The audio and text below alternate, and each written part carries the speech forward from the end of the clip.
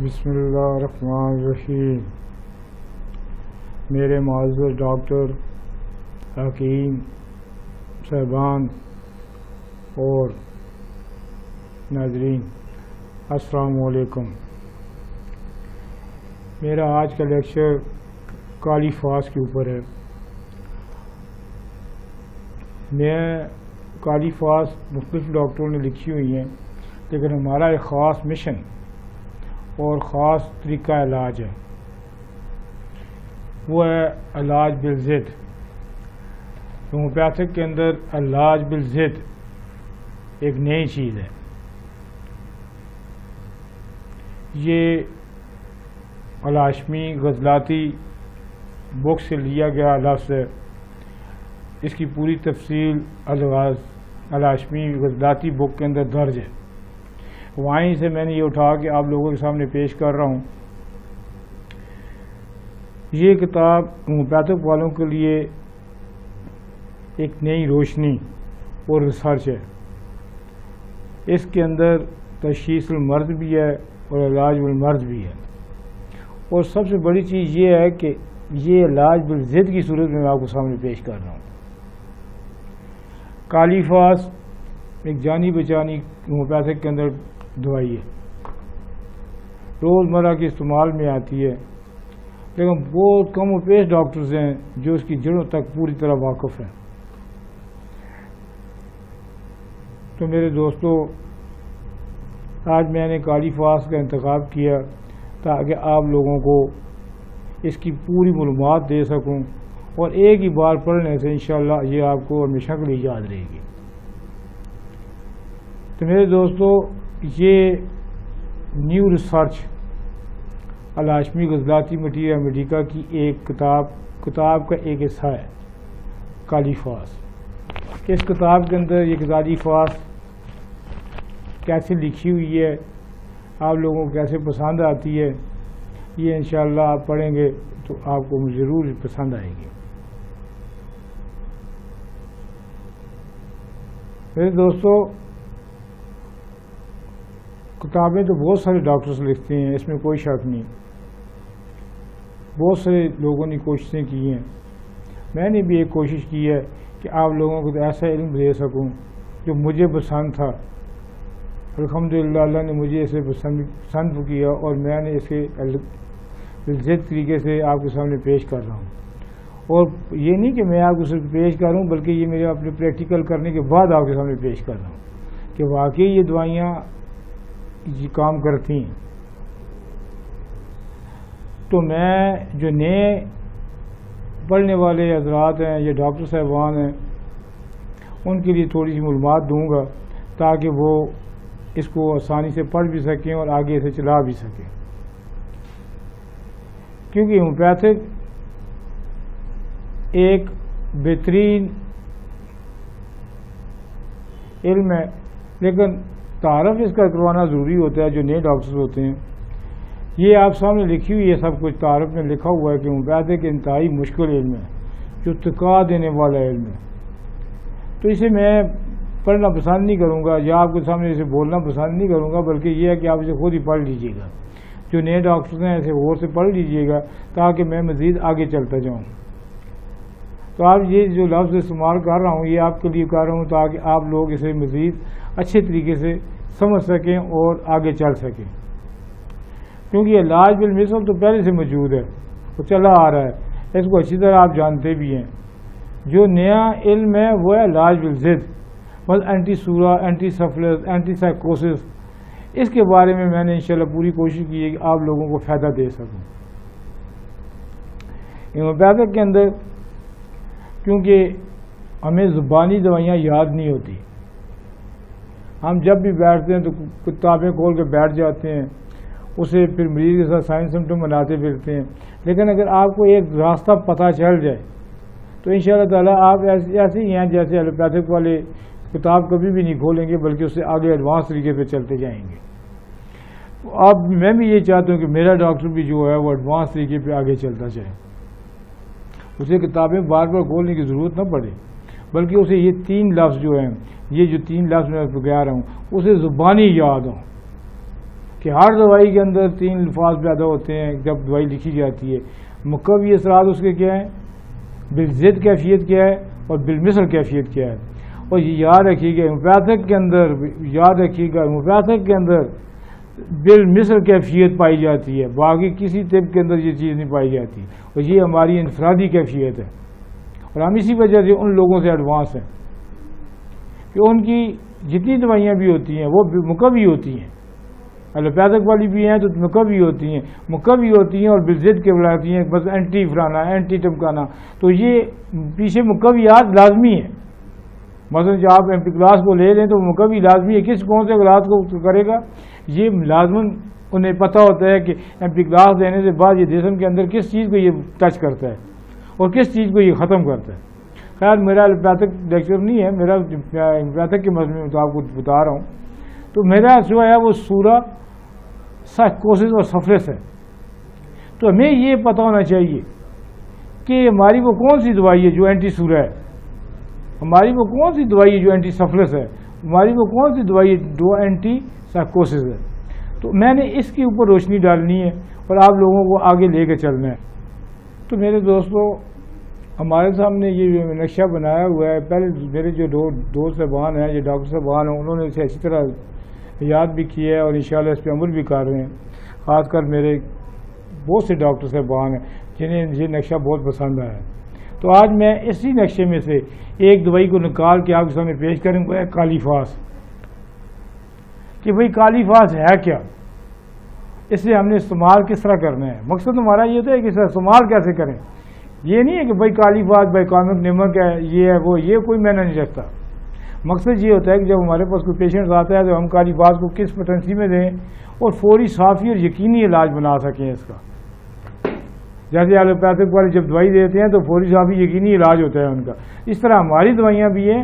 انشاءاللہ شاء کے اندر ہومیوپیتھک ڈاکٹروں نے یہ تجربات کیے ہوئے میں ایک ڈاکٹر نہیں بلکہ بلاکوں ڈاکٹروں نے یہ تجربات کیے ہوئے کہ ڈاکٹر ہومیوپیتھک ایک قطرہ ایک قطرہ مریض کے منہ میں جاتی، کئی دفعہ چمکار بتا دیتا ہے کہ مریض کی کایا بدل جاتی ہے۔ بتا سوچتے رہ جاتا ہے کہ یا اللہ، یہ موزہ کیسے ہو گیا؟ تو اس طرح یہ کالی فاس ہمارے پاس ایک بہترین نمک ہے۔ نمکیات ہیں زندگی کے۔ یہ دوسرے لفظوں میں یہ سمجھ لیجیے کہ وہ بھی ایک زندگی کا ایک حصہ ہے۔ اگر اس جسم کے اندر اس کی کمی پیشی ہو جائے تو امراض پیدا ہو جاتے ہیں۔ تو یہاں یاد رکھیے گا کہ اس کی کمی سے جو امراض پیدا ہو رہے ہیں، وہ میں آگے آپ کو مینشن کر کے بتاؤں گا۔ کہ اس کے اندر اس کمی ہو جائے جسم کے اندر، تو یہ کون کون سے امراض ہیں جو پیدا ہو جاتے ہیں؟ اور جب ہم اسے دیں گے تو وہ امراض کیسے ٹھیک ہوں؟ تو میرے دوستوں جو صفحہ آج شروع ہو رہا ہے، یہ آپ کے سامنے یہ ایک نئی چیز ہے بالکل۔ کالی فاس میرے دوستوں نے اس کے بارے میں بہت سارا پڑھا ہوگا۔ مجھے یہ نہیں بتانے کی ضرورت یہ بنتی کیسے ہے، یا فیکٹریوں والے اس کو بناتے کیسے ہیں، کیونکہ یہ تو ایک عام چیز ہے، ہر فیکٹری والے کو پتہ ہے یہ کیسے بنائی جاتی ہے۔ جس کا نمک کہاں سے آتا ہے، اس کو کیا کہتے ہیں، کیسے اس میں one X, two X, three X کیسے بناتے ہیں۔ میرا یہاں پہ مقصد آپ کو یہ بتانا ہے کہ آیا اس کا جو مدر ٹینچر ہے، یا اس کا کروڈ بارڈر ہے، یہ ہم نے کیسے استعمال کرنا ہے؟ تو میرے دوستو، سب سے پہلے ہر دوائی کا ایک تعارف ہوتا ہے۔ میری اس کتاب کے اندر جو میں نے آپ کو کتاب سامنے بتائی ہے، الاشمی، غزلاتی مٹیریا مٹی کا اسی میں سے ایک صفحہ نکال کے میں آپ کو دکھا رہا ہوں اور مجھے یقین ہے کہ یہ آپ کو پسند آئے گا۔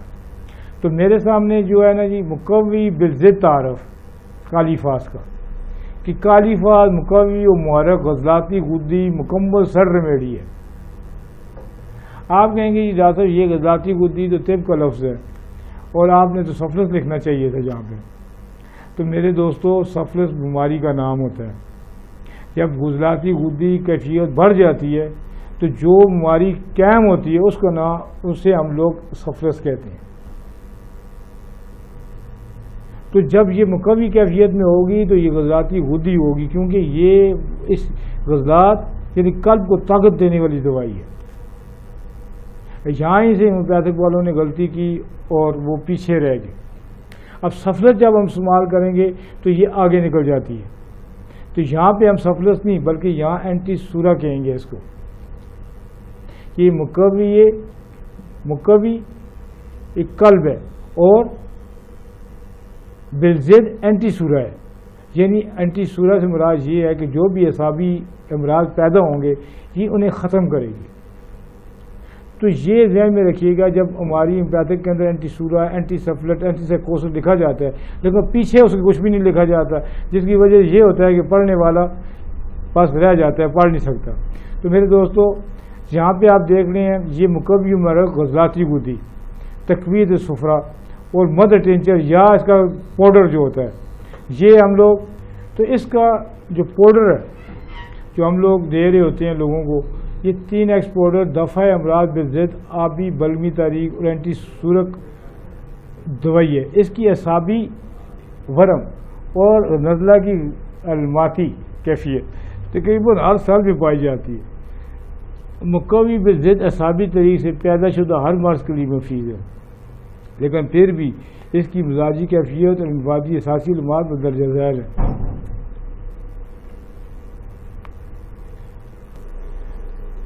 تو مجھے یقین ہے کہ آپ کو یہ سمجھ آ گئی ہوگی کہ یہ مقوی غزلات دوائی ہے۔ اس کا اگلا چیپٹر آتا ہے جی مقام مرض۔ کہ یہ کون سے مقام پہ مرض ہے جو جسم کی کس مرض حصے پہ یہ سب سے زیادہ کام کرنے والی دوائی ہے۔ تو میرے دوستو یہ آپ غور سے پڑھ لیجیے گا، یہ لکھا ہوا ہے یہاں پہ۔ یہ کتاب سے میں نے وہ وہ لفظ آپ کو اٹھا کے دیے ہوئے ہیں کہ کالی فاس کی علمات ہمیشہ دماغی حسابی پردے سے شروع ہوتی ہیں اور پیٹ کی طرف بڑھتی ہیں۔ اب یہ لفظ کیا ہے؟ میں آپ کو یہ بتاؤں۔ جب آپ کے پاس کوئی پیشنٹ آ کے بیٹھے، وہ یہ الفاظ استعمال یہ دماغ سے اپنی علمات کا راز شروع کرے۔ دینا شروع کرے میں ڈاکٹر صاحب میرے دماغ پر بوجھ جاتا ہے جی مجھے نیند آ رہی ہے جی مجھے یہ ہو رہا ہے، میں وہ، تو یہاں سے یہ سب لے لیجیے کہ یہ دماغی کیفیت بیان کر رہا ہے۔ اب اس کیفیت کو دماغی اور اصابی کیفیت آپ کہہ سکتے ہیں۔ کیونکہ لکھنے میں اور بیان کرنے میں تھوڑا فرق ہوتا ہے۔ تو اس میں ذہن میں رکھیے گا، جب پیشنٹ آپ کے پاس بیٹھا، آپ نے اسے دیکھا، تو آپ کو وہ یہ بتائے گا کہ بھئی اس کو کیا کرنا ہے۔ اب یہ کچھ اوپر لکھا ہوا ہے، یہاں پہ یہ مقویات کے طور پہ لکھا ہوا ہے کہ جب آپ کالی فاس دیتے ہیں تو یہ جسم کے اندر جا کے کرتی گیا ہے؟ لیکن جب یہ آپ کے کالی فاس کی علمات دماغی اور سابی پردے سے شروع ہو کر پیٹ کی طرف بڑھتی ہیں، یہ ذہن میں رکھیے گا۔ تو آپ خود بخود ایٹومیٹیکلی جیسے یہاں پہ لکھا ہوا ہے اسٹار الفاظ یعنی پہلے الفاظ۔ تو آپ یہ کالی مقوی قلب، اینٹی سورہ ثابی تری۔ اب یہ لفظ دو تین ہی ہیں، لیکن جس نے ان دو تین لفظوں میں یہ سمجھے کہ سمندر بند ہے۔ کہ دوسرے لفظوں میں کیا ہے، ہم جب بھی دیں گے یہ کالی کالی فاس کو، تو یہ قلب کو طاقت دے گی متارک کرے گی، قوت حص و حرکت میں جوش پیدا کرے گی، قوت وانی کو بڑھائے گی۔ اور جو ریزالو کرے گی جس چیز کو، وہ ہے سورہ الفاظ کے۔ مثلا تھکاوٹ ہے، تھکاوٹ سے مطلب مریض آ کے بیٹھے ہی نا جی اگر وہ یہ کہتا ہے جی مجھے دماغی حسابی تھکاوٹ کا نام کالیفاس ہے۔ بس مختصر الفاظ یہی ہیں۔ کیونکہ کالی روزمرہ کی دوائیاں ہیں، اس لیے آپ روزانہ استعمال کر رہے ہیں۔ تو اس مجھے یقین ہے کہ اسے پڑھ کے آپ کو اور زیادہ تقویت ملے گی۔ تو میرے دوستو، یہ اب آ گیا اس کا مزاجی کیفیت کا تشخیص کیسے کرنی ہے ہم نے؟ کہ پیشنٹ آگے بیٹھا ہے ہم تشخیص کیسے کریں گے؟ تو یہ جو پہلے لفظ لکھا ہوا ہے، تشخیص مرض یعنی مزاجی کے مزاجی اور تشخیصی کیفیت۔ تو آپ جب آپ اس تشخیص کریں گے تو یہ جو الفاظ لکھے ہوئے ہیں، یہ آپ کو زبانی یاد ہونے چاہیے۔ کیونکہ اگر آپ کو زبانی یاد نہیں ہوتے، تو آپ یہ سمجھ لیجیے کہ آپ کچھ بھی حاصل آپ نہیں کر سکتے اس لیے یہ ضروری ہے کہ آپ ان الفاظ کو زبانی یاد کیجیے گا۔ یہ الفاظ اتنے مشکل بھی نہیں ہے دیکھیے یہاں پہ لکھا ہوا آبی تاریخ، دماغی حسابی چاہے، مرض کا نام کوئی بھی ہو۔ اگر مریض اپنے جسم میں ذرا سی دماغی یا جسمانی، جذباتی تاریخ سے ٹھنڈا پان اب یہ ٹھنڈا پان یاد رکھیے گا سورہ کی پہلی علامت ٹھنڈا پان ہوتا ہے۔ جب بھی سورہ اپنی جڑوں کو مضبوط کرنے لگتا ہے یا بیج بونے لگتا ہے تو مریض کے اندر سردی پہلے بڑھتی ہے۔ تو یہ ٹھنڈا پان سردی سے قوت منقصہ لو بلڈ پریشرز یہ ساری چیزیں یہاں تک آتی ہیں، اسٹار علمات تک۔ اس سے آگے اس کی یہ کیفیت آتی ہے کہ بھئی ہم نے کرنا کیا ہے۔ ٹھیک ہے جی؟ یہ دیکھیں آگے، یہ اس کو میں نے لکھا ہوا ہے سارا کچھ۔ یہ ایک مشترکہ کیفیت ہے۔ اصابی دوائیوں کی امراض کی مشترکہ کیفیت ہے کہ یعنی یہ سمجھے کہ اصاب کی ہر مرض کے لیے ایک بہترین دوائی ہے۔ چاہے اس کا نام کوئی بھی ہو۔ آپ اصابی امراض میں اس طرح پھر جب ہم تشخیص کرنے لگتے ہیں تو اصابی فارم پڑھتے ہیں۔ میری اس کتاب کے اندر یہ حسابی فارم دیا گیا ہے۔ جسے آپ پڑھ کے زبانی یاد کریں گے اور وہیں پہ آپ کو جب یہ آپ سامنے آئے گی تو آپ فارم کے صاحب سے مریض کی چہرہ شناسی کریں گے، آنکھ سے دوسری ڈیگنوز کریں گے۔ اب جب آپ مریض کو ڈیگنوز کرتے ہیں تو ہم آنکھ کو دیکھیں گے تو مریض سے پوچھیں گے کہ آپ کی آنکھوں کا کیا ہوتا ہے تو وہ کہے گا جی میری آنکھوں پہ بوجھ ہوتا ہے، میں تو آنکھیں کھول ہی نہیں سکتا۔ یہی کیا تم ہاتھ میں سویا رہوں تو اس کا ذائقہ پھیکا ہوگا لو بلڈ پریشر ہوگا، پیشاب کثرت سے آئے گا۔ پخانہ جو ہے اسے اسٹول میں کوئی تکلیف نہیں ہوگی۔ وہ کہے گا، مجھے پخانہ روزانہ اسی ٹائم پہ آتا ہے۔ تو طبیعت اس کی رونے والوں میں سے ہوگی۔ مریض رونے والا ہوگا۔ یہ جو فارم ہے، یہ پہلے کہ لکھا ہوا ہے، آپ اسے پڑھیں گے تو آپ کو مجھے پورا یقین ہے کہ انشاءاللہ اللہ آپ کو یہ فائدہ دے گا۔ تو میرے دوستوں اسے مکمل طور پہ پڑھیے گا اور یاد کر لیجیے گا۔ جب آپ اسے یاد کر لیتے ہیں تو انشاءاللہ مجھے پورا یقین ہے کہ آپ کو یہ فائدہ دے گا۔ تو اس کی تمام علومات جو میں نے یہاں پہ لکھ دی ہیں، یہ آپ کو انشاءاللہ فائدہ دیں گی۔